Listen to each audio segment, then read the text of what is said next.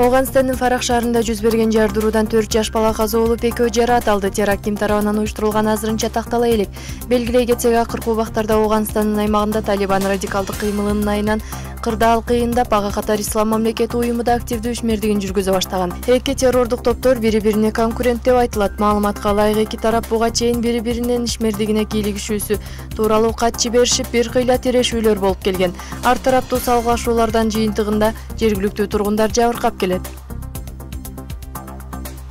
кытайдын ханянь провинциясында жаш балдарды бычактаган киши кармалды. Окуя хайкоу шаарында катталган анда башталгыч класстын окуучулары сабактан чыккан маалда белгисиз киши бычак менен кол салган.